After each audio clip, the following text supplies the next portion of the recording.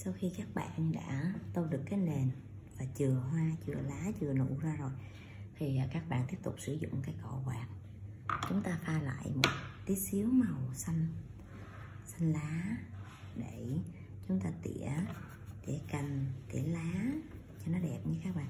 Xanh lá, một giọt nước và hai, ba giọt màu xanh lá với một chút xíu màu màu nâu, xíu màu nâu vào chúng ta sẽ có được cái màu xanh lá nó thực tế một tí.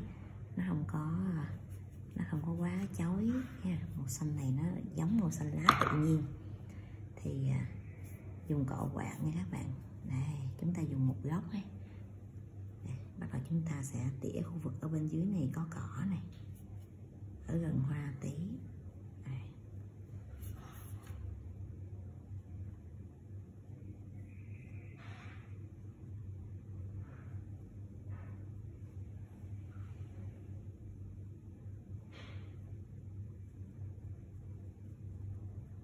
ngắn thôi mấy bạn nha.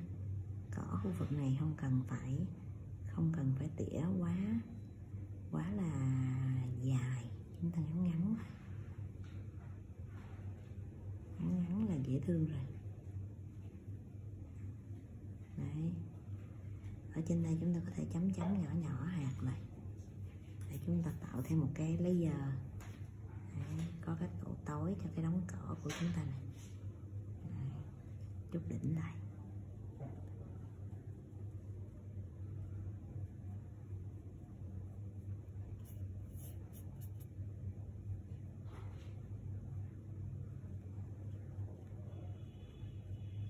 các bạn làm chậm thôi, để nó tạo hiệu ứng nhìn cho nó đẹp đẹp. Nó có thể chen chút vào bên trong những cái chỗ mà chúng ta mới à, mới đính cái nền ấy sợi cỏ lên cho nó cảm thấy một cái à, núi đồi nó thoải mái một tí.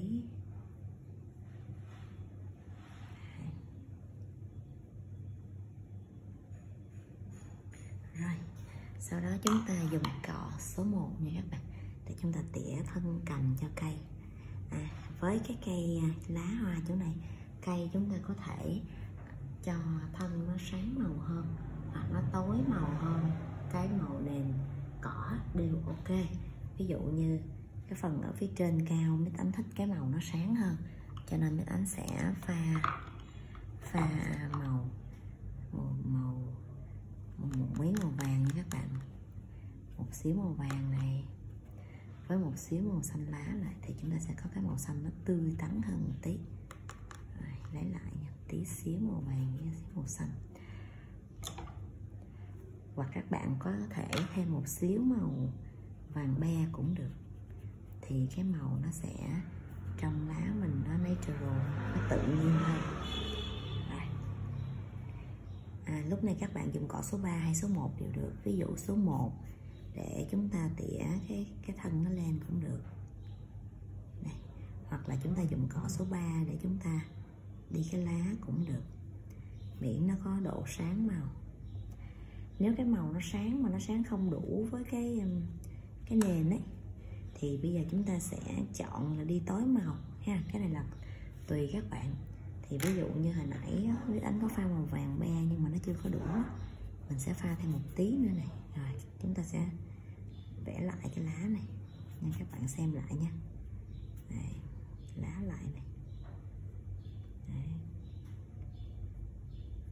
chỗ nào có lá chúng ta vẽ lá lại cái màu nó sẽ sẽ, sẽ thấy ra lấy nổi bật ra. Đấy.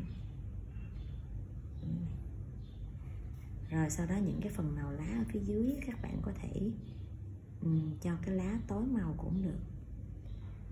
Ví dụ như là chúng ta sẽ pha lại cái màu giống giống như cái màu cỏ hồi ban nãy đó chính là xanh đậm này với một tí màu nâu này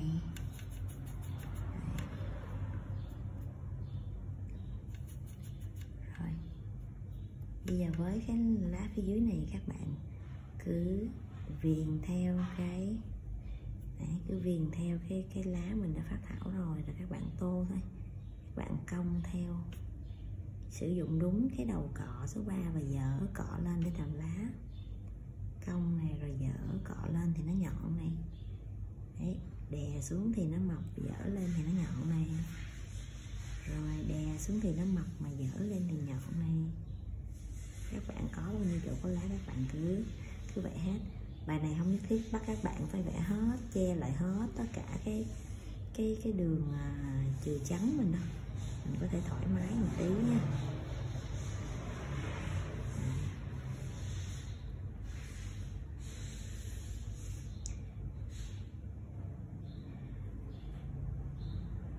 Rồi còn cái phần là cái phần thân của nó thì các bạn nên dùng cọ cọ tỉa số 1 để các bạn, để các bạn dễ dàng hơn. Dễ dàng kéo cái nhánh cây hơn này. Kéo lên này. Rồi kéo lên hoa này. Rồi tỉa lên nụ này. Kéo lên cái cọng nụ của mình này. Tỉa lên cọng nụ này. Tỉa lên tỉa lên thân này. Trên này có cái cây này chúng ta chỗ nào chúng ta còn thấy được thì chúng ta cứ tỉa lên nha các bạn. Thẳng cái đầu cọ lên là các bạn sẽ tỉa được cái thân rất là đẹp. Tỉa lên này.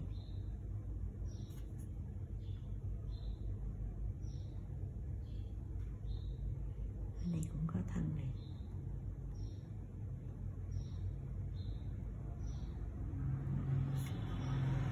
Tỉa từ từ lên. Bài này hơi nâng cấp cho nên đòi hỏi độ tập trung mình hơi cao một chút các bạn cố gắng một xíu nha. Chỗ nào mà quan sát không kịp thì các bạn cho dừng máy là các bạn quan sát lại ha. Rồi, lúc này các bạn có cỏ tỉa. Các bạn có thể tỉa lại một vài cọng cỏ cọng gì đó các bạn muốn các bạn tỉa thoải mái. Thì các bạn tạo thêm một vài cọng cho nó nổi bật này. Đấy. Thì các bạn cứ tỉa lên thế này. Đó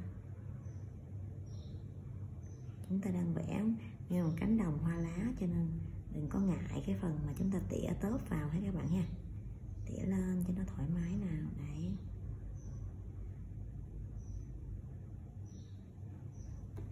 Rồi, sau đó các bạn phải chờ khô nguyên một cái phần background này nha. Rồi, mình sẽ qua phần thứ ba là mình vẽ hoa và lá. À còn một cái nhánh cây trên này nữa. Sẵn như thế này rồi các bạn lấy thêm một xíu màu nâu nha. Đấy, các bạn di cái cọ tỉa số 1 của mình này. Các bạn di từ từ. Tạo thành nhánh cây nha. Lấy thêm một xíu màu nâu nha. Đây, cho nó rủ xuống này. Rủ xuống. Thẳng cây cọ lên các bạn sẽ tạo thành cái thế cây rất là đẹp nhé.